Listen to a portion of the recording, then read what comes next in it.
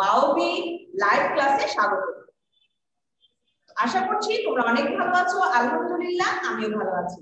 আমি সাইমানুর সহকারী শিক্ষক, Srishti central school and college Rajshahi. আমার প্রিয় শিক্ষার্থীরা, আমরা ক্লাসটা শুরু করার আগে কি করব?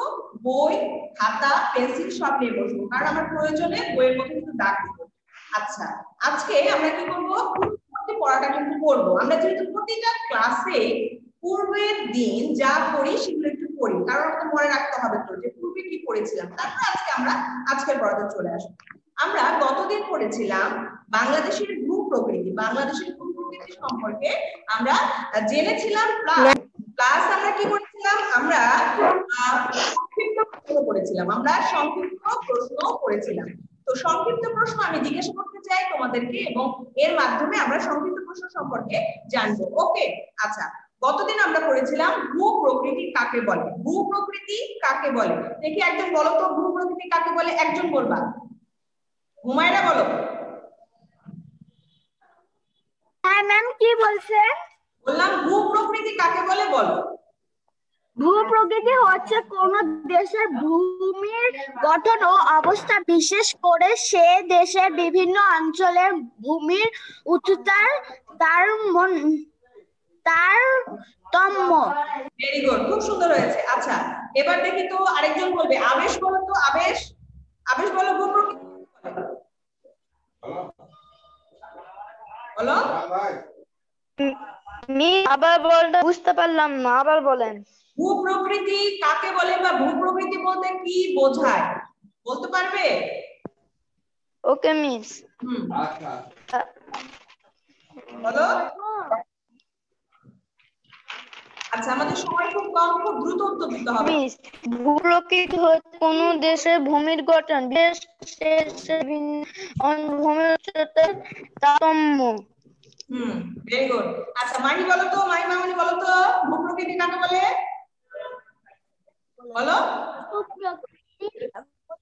কোন দেশের ভূমির গঠন ও অবস্থান করে সেই দেশের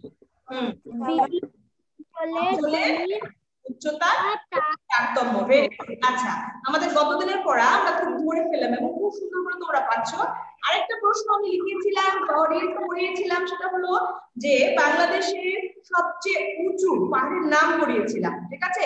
উঁচু পাহাড়ের নাম। দেখি হানিফা বলো তো উঁচু পাহাড়ের নাম কি? ম্যাম টাজিংডং উঁচু পাহাড়ের নাম। হ্যাঁ বলো। নাওশিন বলো নাওশিন বলো উঁচু পাহাড়ের নাম কি? টাজিংডং তাজিংডং ভেরি গুড খুব সুন্দর হয়েছে। আমি বলি।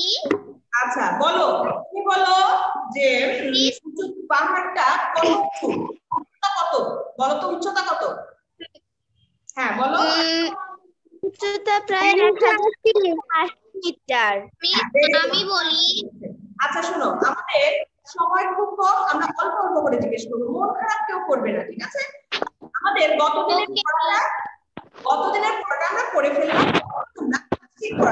ওকে ম্যাম আচ্ছা, আজকের পড়াটা আজকে আমরা কিন্তু এগারো অধ্যায় পড়ব কিন্তু পাঠ আজকে আমরা দুই পড়ব। এগারো অধ্যায়ের নাম কি বলতো?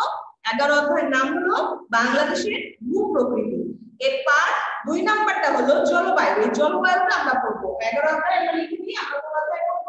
আমরা অধ্যায় জলবায়ু। অধ্যায় এগারো। জলবায়ু পড়ব মজা করে। পার্ট দুয়ের জলবায়ু। হ্যাঁ। আজকে আমরা পড়ব জলবায়ু ঠিক আছে? জলবায়ু সম্পর্কে পড়ব।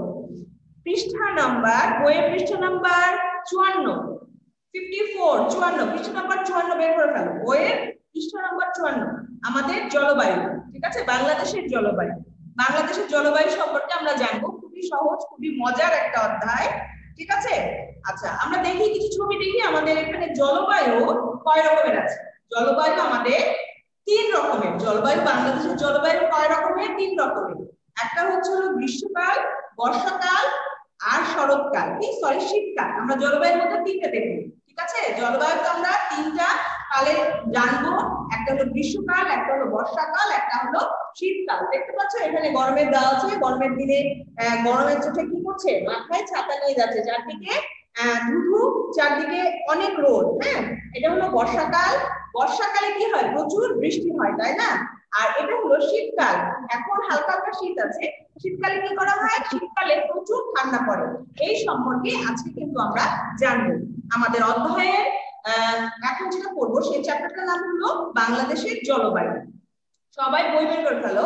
বাংলাদেশ ষড় ঋতুর দেশ। বাংলাদেশ ষড় ঋতুর দেশ। ঋতুগুলো হলো গ্রীষ্ম বর্ষা শরৎ হেমন্ত সরি শরৎ হেমন্ত শীত ও বসন্ত। ঠিক আছে? আমাদের ঋতু তার নামগুলো বলা হচ্ছে গ্রীষ্ম বর্ষা শরৎ হেমন্ত শীত ও বসন্ত তাপমাত্রা ও বৃষ্টিপাতের উপর বাংলাদেশের জলবায়ুকে আচ্ছা তাপমাত্রা ও বৃষ্টিপাতের উপর ভিত্তি করে কি করা হয় আমাদের এই জলবায়ুটাকে তিন ভাগে ভাগ করা হয়। একটা হলো গ্রীষ্মকাল, একটা হলো বর্ষাকাল, একটা হলো শীতকাল। এই তিনটা, এই এই তিনটা হচ্ছে হলো জলবায়ুকে আমাদের যে ভিত্তি জলবায়ুকে তিন ভাগে ভাগ করা, এটা নিয়ে আজকে আমাদের আলোচনা। তাহলে আমাদের আজকে আলোচনা হলো গ্রীষ্মকাল, বর্ষাকাল আর হলো শীতকাল। আবার আমি বলছি তাপমাত্রা ও বৃষ্টিপাতের উপর ভিত্তি করে, তাপমাত্রা ও বৃষ্টিপাতের উপর ভিত্তি করে বাংলাদেশের জলবায়ুকে তিন ভাগে ভাগ করা হয়। একটা হলো গ্রীষ্মকাল একটা হলো বর্ষাকাল আর একটা হলো শীতকাল। আচ্ছা গ্রীষ্মকালের মধ্যে দেখো, মার্চ থেকে মে মাস পর্যন্ত গ্রীষ্মকাল। মার্চ থেকে মে মাস পর্যন্ত গ্রীষ্মকাল। এগুলো আমাদের জন্য আমাদের খুব ইম্পর্টেন্ট এবং খুব ভালো করে পড়তে হবে। আর মূল বইয়ের বিকল্প কিন্তু কিছু নেই। আমাদেরকে মূল বইটা খুব ভালো করে পড়তে হবে ওকে আচ্ছা মার্চ থেকে মে মাস পর্যন্ত গ্রীষ্মকাল। এই সময় তাপমাত্রা পঁয়ত্রিশ ডিগ্রি সেলসিয়াস পর্যন্ত হয়। এই সময় এই গ্রীষ্মকালে তাপমাত্রা কি হয়? পঁয়ত্রিশ ডিগ্রি সেলসিয়াস, সর্বোচ্চটা বলা হচ্ছে এখানে। পঁয়ত্রিশ ডিগ্রি সেলসিয়াস পর্যন্ত উঠতে পারে, কোনো কোনো দিন তাপমাত্রা এর চেয়েও বেশি হয়ে যায়। অনেক যখন গরম পড়ে, তখন পঁয়ত্রিশ ডিগ্রি সেলসিয়াস থেকেও বেশি বেড়ে যায়। আচ্ছা বছরের সবচেয়ে উষ্ণ মাস হলো, উষ্ণ মানে গরম, সবচেয়ে গরম মাস হলো এপ্রিল।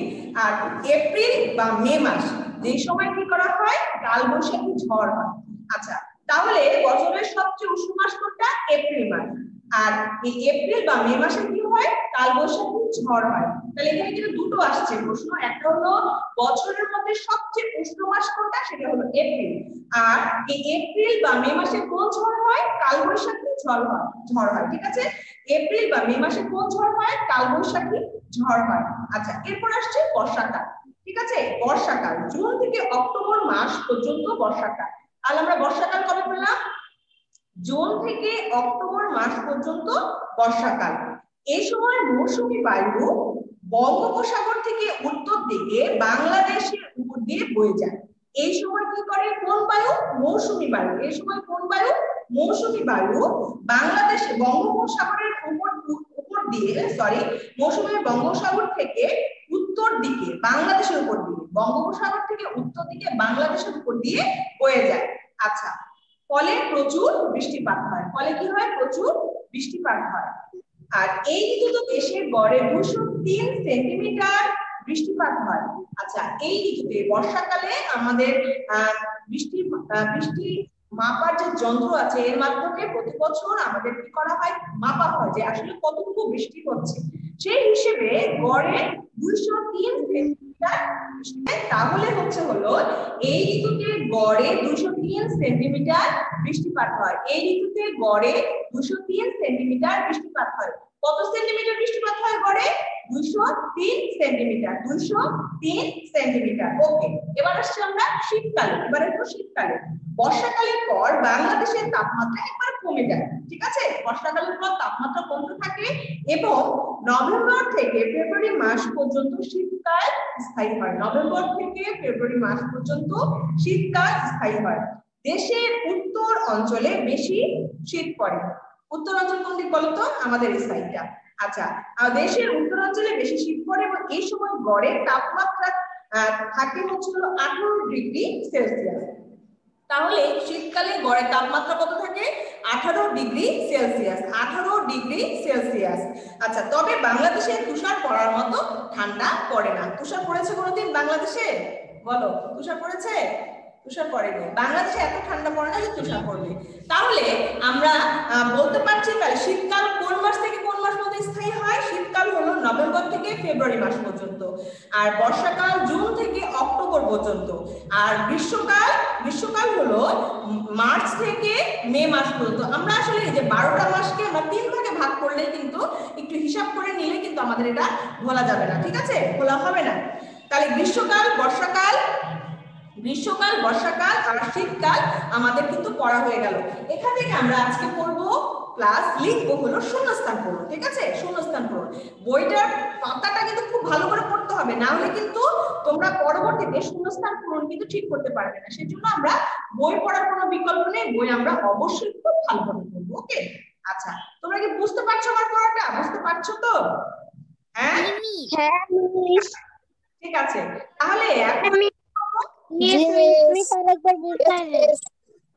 এখন আমরা শূন্যস্থান পূরণ লিখব ওকে? শূন্যস্থান পূরণ অনেকগুলো অনেক ভাবে আসতে পারে আমি কিছু লিখে দিব।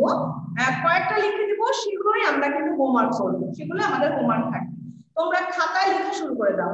আর আমি যেই ওকে মিস ওকে মিস হ্যাঁ ইম্পর্টেন্ট সেগুলো কিন্তু দাগ দিয়ে দিয়েছি। আমরা লিখি শূন্যস্থান পূরণ বোর্ডে চলে আসি আমরা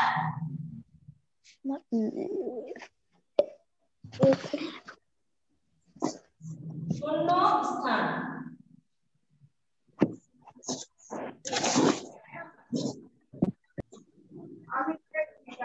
এটা তো ড্যাশ একটা বড় দিলাম ঠিক আছে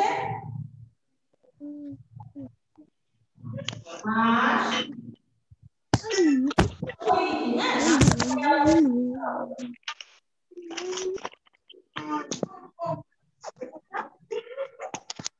জুন থেকে জুন থেকে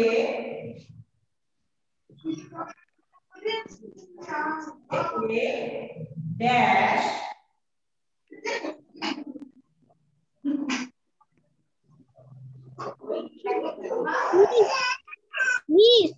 জি হলো ওই যে মাসের আমি লিখে দিচ্ছি। জুন থেকে ড্যাশ জুন থেকে ড্যাশ মাস পর্যন্ত মাস পর্যন্ত বাংলাদেশে একটু সরেন বাংলাদেশে বর্ষাকাল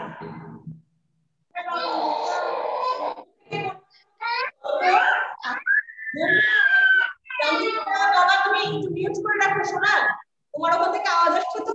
আমি মিউট করে দিচ্ছি তুমি আনমিউট করো না হ্যাঁ? ঠিক আছে।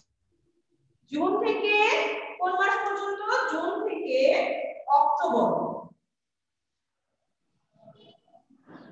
অক্টোবর হ্যাঁ? জুন থেকে অক্টোবর মাস পর্যন্ত বাংলাদেশে বর্ষাকাল। এবার চার নাম্বার।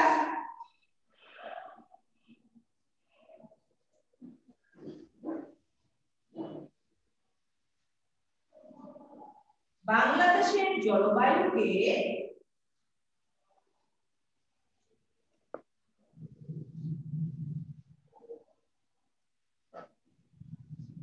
বাংলাদেশের জলবায়ুকে ড্যাশ ভাগে ভাগ করা হয়।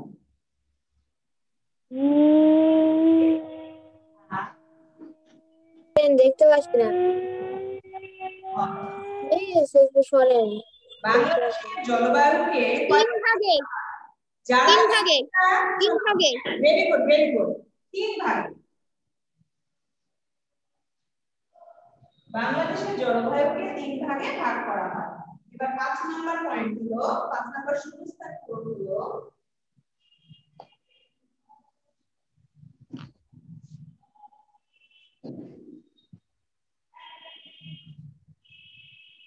বছরে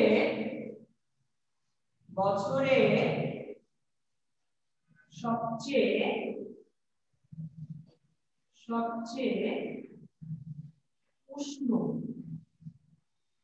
উষ্ণ মাস বছরের সবচেয়ে উষ্ণ মাস